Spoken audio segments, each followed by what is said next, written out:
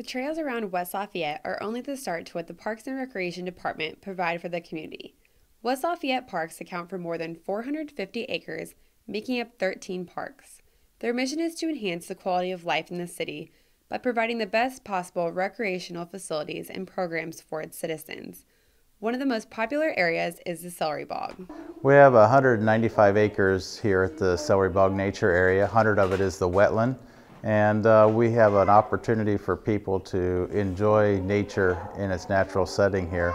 Uh, they can walk the mulch trails or they can ride their bikes or walk on the paved trails and just get out and uh, experience what's here. Another attraction of West Lafayette is Tapawingo Park, which offers a playground similar to the other parks around. Tapawingo also offers the only ice skating rink in the area, Riverside Skating Center. The Recreation Department offers a variety of activities at the Morton Community Center, including yoga, art class, pottery, and much more.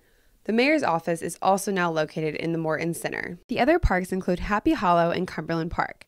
The department is beginning a master plan to survey the community on improvements they can make to parks and recreations. Having a master plan, of course, with the five to 10 year projection on what we might be doing in the future, we want to look at where we are and where we could be in the future. We hope to, that through the survey that we're doing that more people uh, let us know what kinds of facilities that they'd like to see. With the annexation of Purdue into West Lafayette City Council, students have more representation in local government. Therefore, the Parks and Recreation Department encouraged Purdue students to complete their survey.